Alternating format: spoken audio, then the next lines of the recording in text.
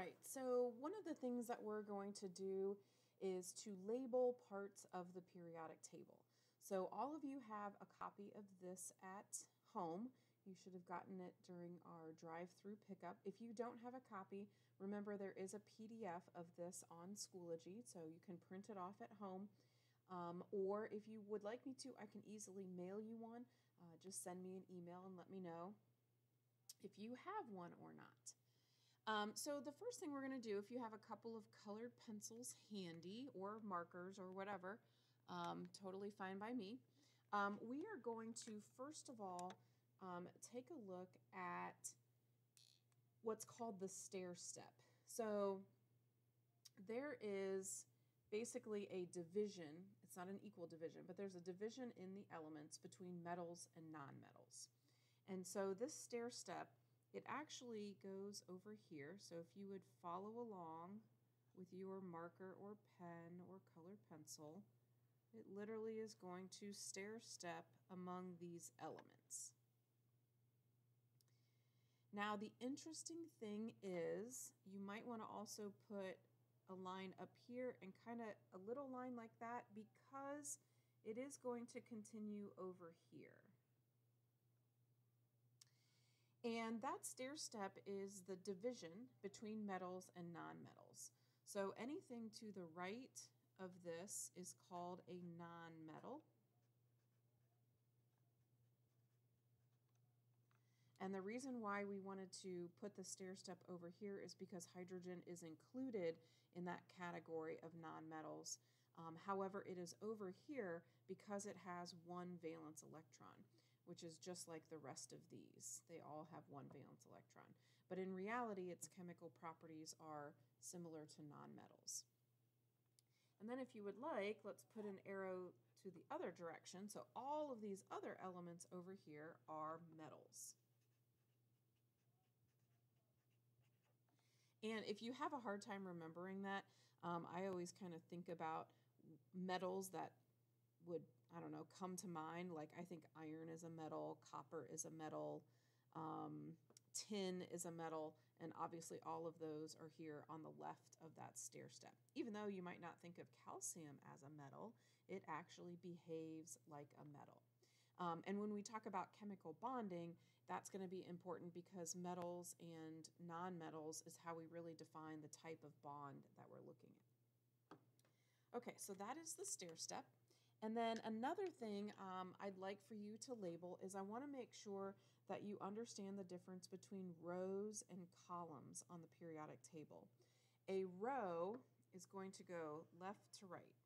One, two, three, four, five, six, seven. So we actually have seven rows. And I'm going to label those. I'm going to put rows. One, two, three, four, five, six, seven. There are seven rows on the periodic table. Now you might wonder why I didn't number these eight and nine. And the reason why is because these are actually down here um, not because they are the next two rows, but they are down here because they don't fit with this electron configuration happening up here. So if you notice the periodic table goes 55, 56, 57, 72. So we're obviously missing some there. So if you find 58, it's down here. So this row here is actually part of row 6 and is supposed to go there. I'll put a dot there so you can see that. And then same thing down here, 87, 88, 89, 104. So number 90 is down here. And I'll put a star there so you can see that. So this row is actually part of row 7. Um, it's just that these electrons do some funky things in the atom, and so that's why they are grouped separately down there. Okay, so those are rows moving from left to right, and one of the things that we're going to notice today is that there are some trends when we look at the rows. And then on the flip side of that, we have columns. Remember, a column goes up and down. Think of a column on a house, like on your front porch, you have columns. So here's column one, two. We're actually going to skip over all of these. Column three, four, five, six, seven, and 8. So I'm going to put those up here. One, two, three, four, five, six, seven, eight. And when we draw Bohr models here in a few minutes and then even more into Lewis dot structures, it will be important that we remember columns, and those numbers are important. Remember I had told you that we're really only going to look through the first 20 elements. And so if you notice number 21 starts in this middle section, we're going to skip over these. Um, the electrons in 1 through 20 pretty much follow, I guess you could say, normal electron behavior. But then when we get to this 21st electron, um, it starts to change its energy level. And so that's why we're not going to go there in biology. When you get to chemistry class, you will most definitely learn the funky things that happen here and down here. Okay, so we have rows, we have columns, we have metals, and we have nonmetals. And then the last thing that I'd like to talk with you about is column number eight, all the way over here. So these elements are very different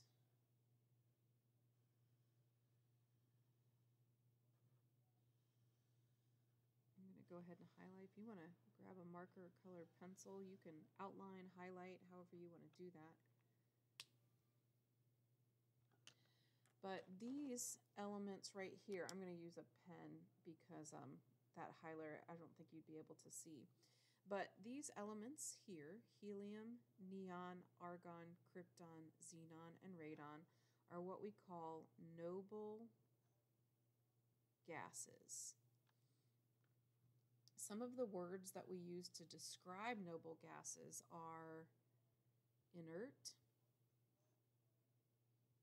stable, and non reactive. Oh, you know, another one I'm going to put down is full. Those are some of the words that we use to describe these elements. So these elements are over here in the eighth column um, because their energy level is full. It's at maximum capacity. When it's at maximum capacity, it's very stable. It's very uh, full. And as a result of being full or stable, it does not have any interest in reacting to other elements. So if argon were to bump into cobalt, for example, argon has no desire to bond with cobalt because it already has a full energy level. It doesn't need to share electrons. It doesn't need to borrow electrons. It doesn't want to give away any electrons. And so we say these are inert, non reactive elements. The one thing to keep in mind, because this is a little bit of a trick, helium up here. Um, so later on today, we're going to talk about the first energy level, and we'll talk a little bit about helium. Just keep in mind, helium is over in this column because it is a noble gas, but that number eight doesn't pertain to helium as much. And you'll um, kind of understand that after we go through Bohr models. So that's a little bit about how I'd like for you to label your periodic table. And if you have any questions, don't hesitate to email me. Um, but that might kind of help visualize things a little bit for you. And you will be allowed to use this on tests and quizzes exactly how you see it here. So you want to make sure that you have it labeled because that might come in handy. Hint, hint, hint.